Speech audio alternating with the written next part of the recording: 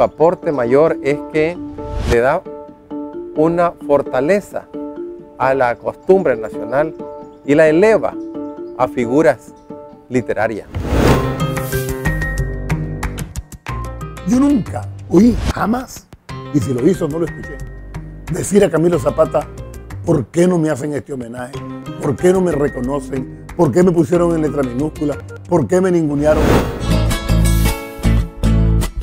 Todos los días Don Camilo es interpretado por el mariachi, por el trío, por el cuarteto, por los intérpretes, por los cantautores.